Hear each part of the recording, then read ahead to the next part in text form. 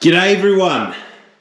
You may remember this bathroom heater from one of the previous videos. Today, the same customer has got us back in the bathroom. What we're going to be installing is this brand new bathroom fan. Given that the bath is over this side of the bathroom and the shower's on the opposite side, the customer has specified they prefer it above the shower.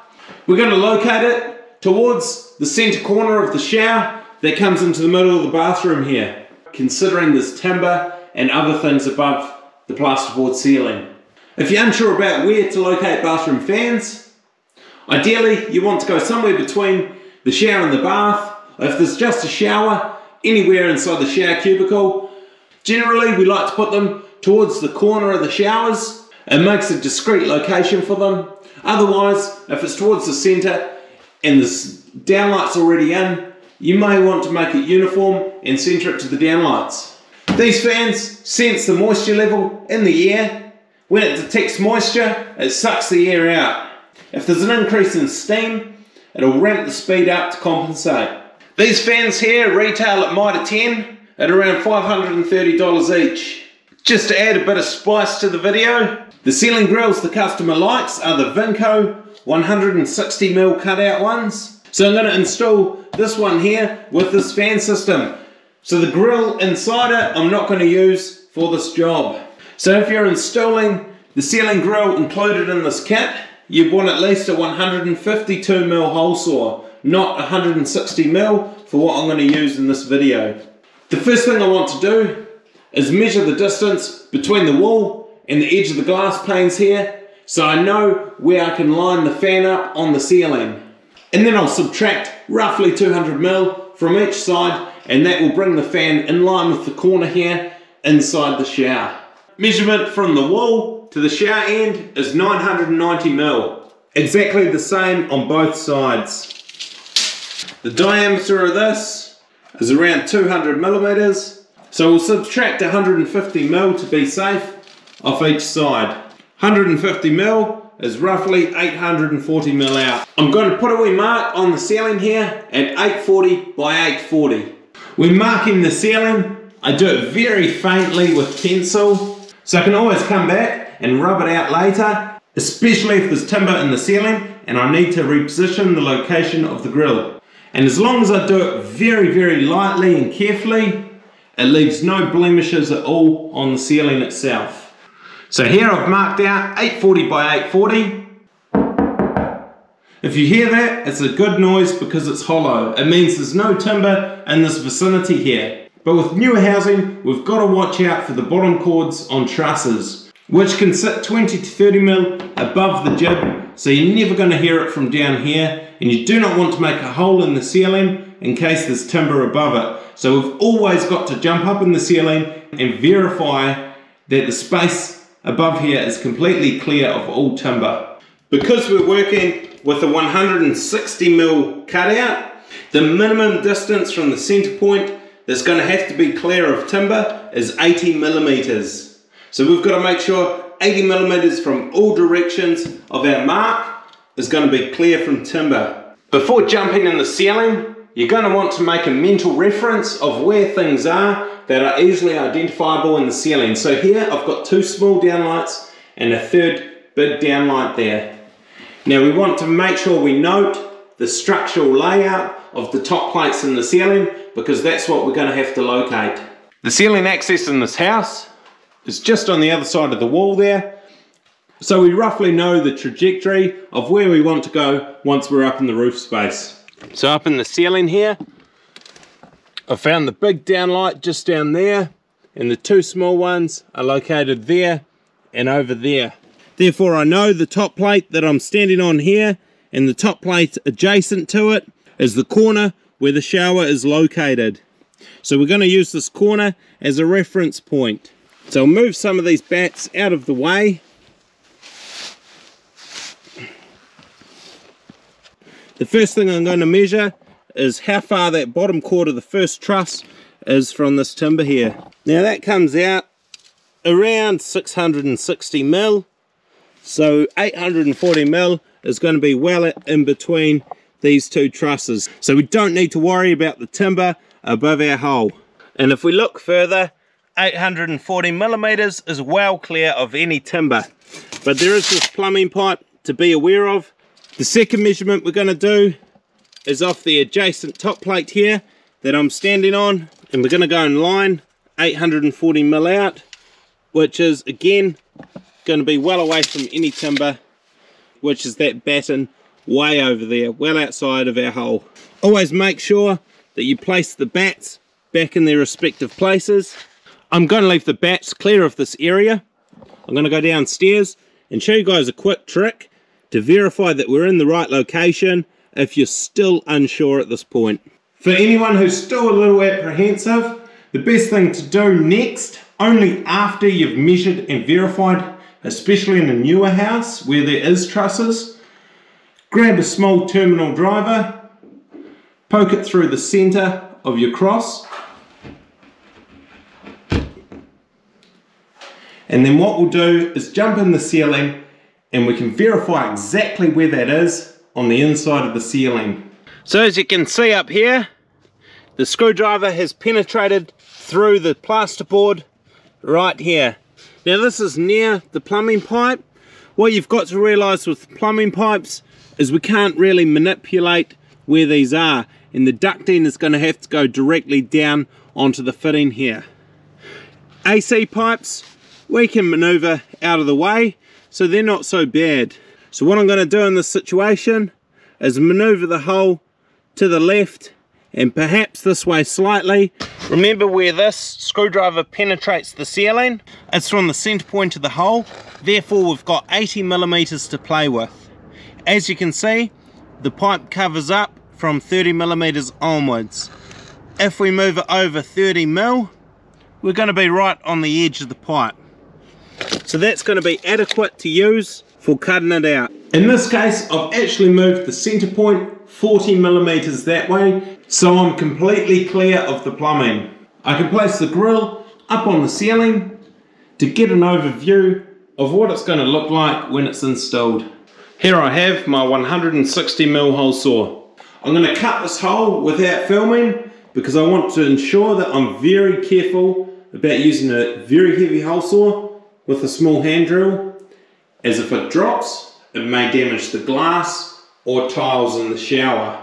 Before cutting I want to ensure a clean environment below. I'm going to move all of this gear out of the shower so it doesn't get coated in debris. Also I'm going to throw a drop sheet down here because it's not always good to have chunks of dust going down the drains. So there's the hole in the ceiling relative to the shower it looks pretty damn good. And that plumbing pipe is right beside it. Looking outside here, we already have two existing grills on the exterior of the house. The bathroom is in this room here, which roughly sits about five meters from one of the existing grills. The first grill here goes back to the range hood. We cannot connect a bathroom fan onto a range hood setup. The second one here goes back to an existing bathroom fan and a separate toilet. This one we can definitely junction the bathroom fan into. In addition to these two external grills, we wouldn't want a third one in the vicinity because it would look unnatural. However, on the other side of the bathroom here, we could definitely throw one up on in this area here. As long as we're not above a window, people can't look out and directly see an external grill on the outside of the house, soffit. Outside here, the new external grill is going to be 150 mil. So we're going to be using a 159 mil carbide tip bit for cutting through the soffit. As you can see, the external grill sits nice and snug inside the 159 mil piece. Need to relocate these portable veggie gardens out of the way. So what I've done here off camera is I've identified firstly where timber features in the soffit. Now if you look for nails that have been painted over, that dictates where the timber runs perpendicular to the wall. You can knock on it, you'll hear a solid noise behind the nail which dictates there's timber there and if you knock away from where the timber is you'll hear a nice hollow noise and that's where I want to cut into. Given that it's 159, 160 mil cutout I'm going to be doing, I have to allow for 80 mil clearance from the timber to the center of this. I've estimated 20 mil for the timber and then I've left 100 mil extra to the center point of my mark. If I wanted to be a bit safer and I wasn't sure of the thickness of this timber, I'd bring it out further left from this point. So maybe an extra 20 or 30 mils over. And that will eliminate any possibility of drilling where this timber in the feet. Before drilling, I want to make sure the soffit isn't an asbestos containing material without adequate PPE. Because I know this is a modern house, I've got no risk of drilling through asbestos in the soffit. However, if it was an older house, I'd generally get a small screwdriver and try and poke it through the soffit where I'm going to drill. A good indication of a board that contains asbestos is the inability to push a screwdriver or screw a screw through it. So I'll quickly drill this one off camera. As you can see, I've cut a nice hole, sent it to this feet, and looking up, you can see that the timber is a nice distance away from the edge of the hole here. There's about 20 mils between the edge of the timber and the edge of the hole. The next part I'm going to focus on is ensuring that there's power up in the ceiling available for this fan to plug into. The first thing I'm going to do is identify an appropriate circuit. Given these lights are independently switched, there's a good opportunity to use an existing cable for the center light here and repurpose it for the fan and then connect all three lights on the same individual switch. Now I've already discussed this and got the go ahead from the customer. So always ensure you discuss time saving things like this with the customer. Otherwise I would have to go through the process of bringing a cable down the wall, which may add a few hours to the job given the complexities with multiple cables already located inside this wall. Off camera, I'm going to quickly replace this light mech with a switch that's labelled fan for the fan circuit. And then up in the ceiling here, I'm going to go through it with you, disconnecting this light and connecting a power point. Before going in the ceiling, I want to make a decision on whether I'm going to use a bubble plug or a single power socket. If I wasn't going to have it isolated on the wall, given this fan is a top of the line automatic fan, I could run it off a power point that's left switched on up in the ceiling space. In this instance, because I've already got an isolator on the wall for the fan, I can put a bubble plug in the ceiling. I'm going to isolate and lock out the circuit before jumping up in the ceiling space. So off camera, I've replaced the light with a fan mech, as you can see. I've already gone through isolating and locking the circuit out. We'll jump up in the ceiling and disconnect the cable from this light and wire that socket into it. In the ceiling here is the downlight in question and what I can see is there's no cover over the terminals which is not a good idea because someone could come along and accidentally put their fingers on the terminals when the light is switched on. Always test before you touch because one day you might get caught out. Try and undo these terminal screws one-handed. Looking at the stripped ends on the cable, they look perfectly adequate to screw into the terminals on the back of the surface socket here. Nicely color coded. So red is going to be my phase, green earth, and then this unlabeled terminal is going to be my neutral. Not the one that's got a plastic piece blocking access to it. That one there is just a loop terminal, functions as a connector. So I've double checked to ensure that the screw has clamped down only onto the copper and I've done the pull test on each cable core to ensure the screw is done up firmly onto the copper. I'll attach the base, unclip the pin clip under here and I'll relocate the socket somewhere near where I'm going to mount the fan unit itself which is probably going to be in this area here. So I'll run it underneath the bats. I'm going to secure it with a screw into the batten. Now that socket is securely fixed down and ready to plug the unit in. So the next part we're going to set up the fan unit for installing in the ceiling. Now the box comes with a 3 meter length of duct which is generally not enough to install one of these systems in a house. So you want to make sure you've got an extra 3 or 6 meter length to throw on the unit. And what I'm going to be doing is taping the shorter one. If there's one, this one here has been used, so it is inherently shorter than the 3 meter length. I'm going to chuck the shorter one between the fan and the bathroom inlet, and the longer one between the opposite side of the fan and the outlet. Double check the direction of airflow, which is going that way. So we want the exterior duct on this side and the interior length on the other side. The best way to fix these to the units is with some duct tape. Now duct tape generally doesn't come with these in the boxes either, so it's good to have a roll of these handy. They do provide cable ties. I find it quicker and easier to use duct tape. Tape these together now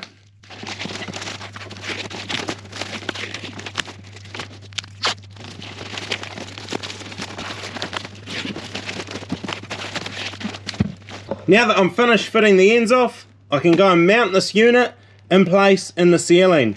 Taping it down on the floor here means I don't need to take this roll of duct tape up into the ceiling with me. Now for mounting the unit, first of all, I want to make sure the airflow orientation is correct. So checking on the side here, the airflow is going outwards, away from the hole, to the outside the hole's over in that corner there somewhere. The next thing with these units, we must make sure that this box is facing upright. So it's going to have to be side mounted and I'm going to side mount it on the side of this timber truss here. Now I want to make sure it's mounted so it's not putting pressure on the bats or on the ceiling itself but I want to have clearance so it's not sitting on the jib board it's not going to rattle around and make a noise. So that there is nice and secure. It's not going to bounce around when it's operating. I've used nice long screws to get a secure grip on that timber. It's always best to follow the instructions as a good reference. Unfortunately in these instructions it says never to secure the unit directly to a beam but use a bungee cord around the fan motor in the ceiling The next part, we chuck the ducting through the holes. And put the insulation back in its place.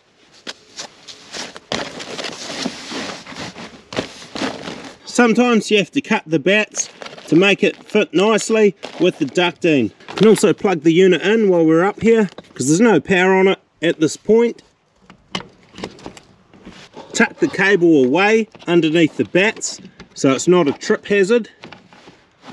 And then we'll chuck this end out into the soffit down there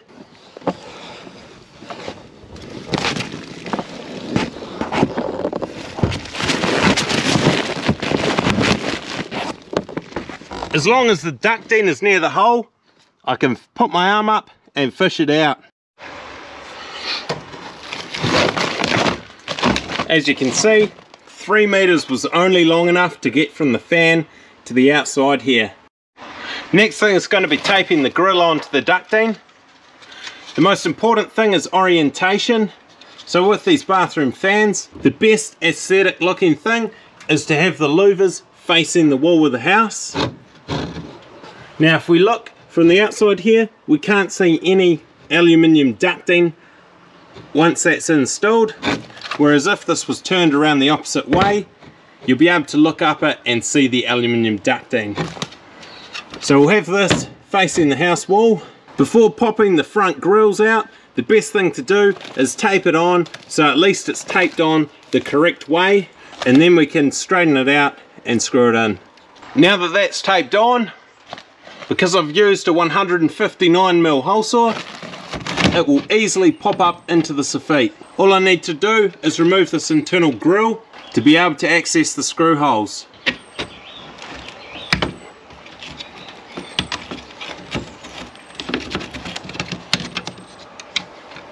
Now to make this perfectly aligned, I want to measure from the edge of the gutter in here to the edge of the unit. The first thing I want to do is anchor one screw in the corner, but hold it up as straight as possible while I do it. The first screw is done. I should also state the screws I'm using are stainless steel screws because it's an external environment. The next part, I'm going to measure from either side. From this side, we've got about 85 mil. And we'll double check that from the other side to make sure they perfectly line up. By doing these measurements, we're ensuring that the square grill is uniform with the other materials of the house. Now it's perfectly straight, I can go ahead and fire the rest of the screws in. Throw the square grill back on, you'll notice it will only mount one way.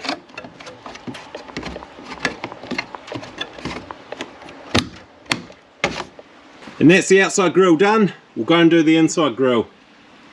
Same with the internal grill inside. I can remove some of the excess ducting by simply making an incision by cutting the wire and then just tearing a hole right the way around making sure to keep it nice and uniform the whole way around. The next part I'm going to remove the fascia simply by twisting it off because this internal grill is circular, it's always going to be uniform with the room. So I can simply tape it up and screw it straight to the ceiling. So now it's nicely taped a couple times around. I can easily push it up. Again, I'm going to use four stainless screws because it is a wet environment. Because I'm screwing into jib, I do not want to be using an impact driver. Now that the base is mounted to the ceiling, I can go ahead and remove the plastic film from the fascia and then clip it together. Now the fan's installed, we can give it a test. So with the automatic units, we can leave the isolator turned on at all times.